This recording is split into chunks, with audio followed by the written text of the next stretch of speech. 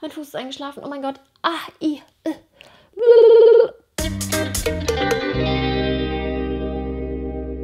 Hallo und herzlich willkommen zurück auf meinem Kanal. Heute zu einem besonderen Video, denn ich möchte euch gerne Tipps weitergeben für Bewerber, die jeder kennen sollte. Vielleicht habt ihr es mitbekommen, der August auf meinem Kanal stand so ein bisschen unter dem Motto Erwachsen werden, auf eigenen Beinen stehen, die Schule ist vorbei, was mache ich jetzt, was möchte ich so mit meinem Leben anfangen. Wenn ihr die restlichen Videos nicht gesehen habt, die verlinke ich euch nochmal in der Infobox. Ihr seht, dieses Video ist in Kooperation mit einem Partner, dazu gibt es am Ende mehr Infos und jetzt erstmal viel Spaß mit dem Video.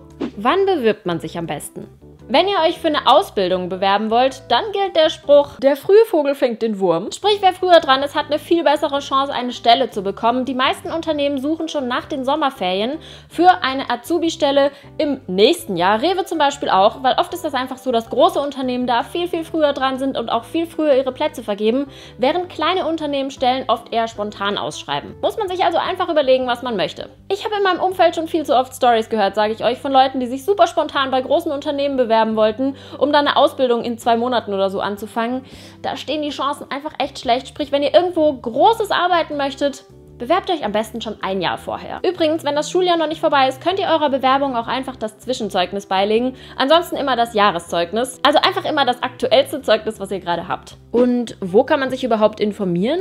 Wenn man schon weiß, welches Unternehmen einen interessiert, dann kann man sich oft ganz einfach auf der Website informieren. Rewe beispielsweise hat eine extra Karriereseite. Hier kann jeder schauen, was individuell zu ihm oder ihr passt. Man sieht dann ganz genau, welche Aufgaben man haben wird, was Rewe einem bietet und was die Anforderungen an die Stelle sind.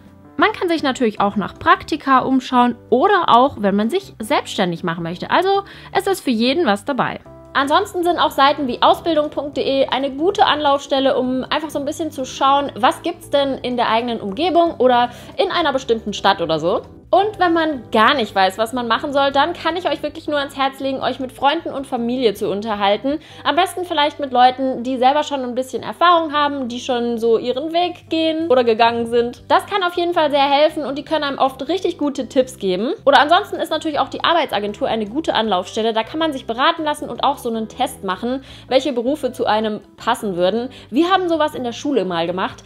Ich kann euch nicht mehr genau sagen, was da bei mir rauskam. Ich glaube sowas wie Lehrer Lehrerin oder irgendwas mit Sport. Habe ich ja dann letztendlich doch nicht gemacht. Das kann auf jeden Fall sehr interessant sein und man bekommt einfach nochmal so einen anderen Blick für die Dinge und vielleicht auch neue Berufswege gezeigt, an die man noch gar nicht so gedacht hat. Und was muss ich alles im Bewerbungsschreiben beachten? Das Thema Bewerbungsschreiben könnte hier wahrscheinlich nochmal ein komplett eigenes Video einnehmen. Deswegen möchte ich euch einfach nur so die wichtigsten Tipps mitgeben. Zunächst mal kommt es auf jeden Fall immer gut, wenn man tatsächlich eine persönliche Anrede verwendet im Bewerbungsschreiben und nicht irgendwie schreibt, sehr verehrte verehrte Damen und Herren. Das zeigt einfach, dass man sich informiert hat über das Unternehmen und auch weiß, bei wem die Bewerbung letztendlich landen wird. Hm. Dann muss natürlich ganz deutlich werden, warum genau du perfekt für diese Stelle bist. Das müsst ihr unbedingt in dieses Bewerbungsschreiben mit reinpacken. Und natürlich auch der Grund der Bewerbung. Warum genau dieses Unternehmen und warum genau diese Stelle? Was ist so eure Motivation hinter der ganzen Geschichte? Hier solltet ihr nur aufpassen, dass es nicht zu schwafelig und zu hochgestochen wird,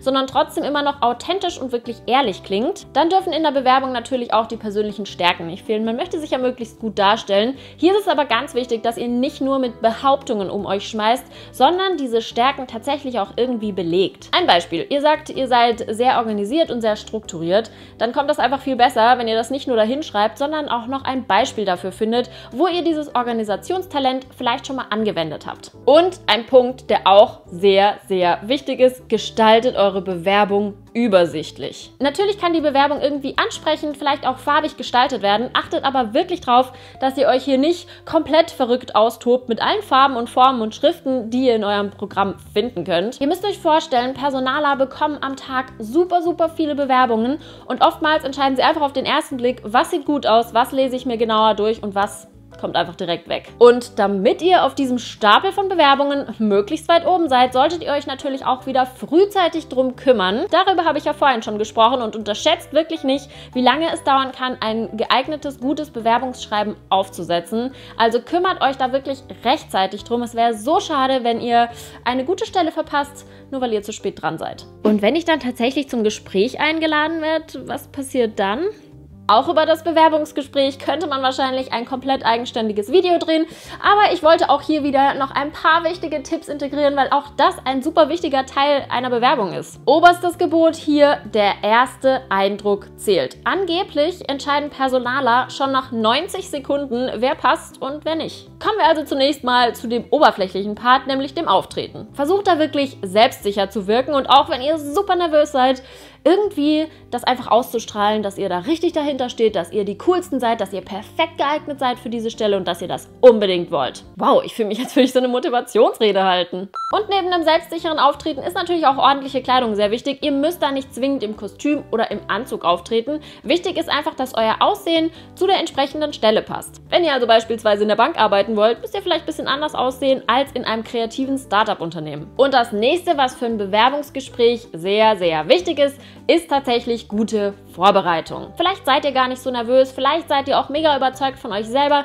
Trotzdem ist es ganz wichtig, euch so ein bisschen mit euren persönlichen Stärken und Schwächen vorher schon auseinanderzusetzen, euch über das Unternehmen zu informieren, natürlich, damit ihr da tricky Fragen beantworten könnt und außerdem noch zu wissen, was ihr in eure Bewerbung geschrieben habt. Es gibt nichts Peinlicheres, als wenn die einen was fragen und man dann was anderes antwortet, als man eigentlich in die Bewerbung geschrieben hat, weil man das einfach völlig vergessen hat. Also schaut euch das vorher einfach nochmal alles an. Ich hatte in meinem Umfeld auch schon Leute, die ein Bewerbungsgespräch verbockt haben, weil sie sich einfach nicht über das Unternehmen informiert haben und ganz basic Fragen nicht beantworten konnten. Und dann denken die natürlich, dass man eigentlich gar nicht wirklich interessiert ist. Was auch helfen kann, ist, wenn man im Internet einfach mal nach Standard-Bewerbungsgespräch-Fragen googelt, sich die so ein bisschen anguckt, bisschen Antworten vielleicht schon überlegt, aber auch da wieder nicht einfach nur die Standardantworten auswendig lernt aus dem Internet, sondern einen persönlichen Bezug herstellt, damit das Ganze auch glaubwürdig ist. Glaubt mir, Personaler sind richtige Füchse und die merken das, wenn man Zeug einfach nur auswendig lernt. Jetzt habe ich ja vorhin erwähnt, dass dieses Video in Kooperation mit einem Partner stattfindet und zwar mit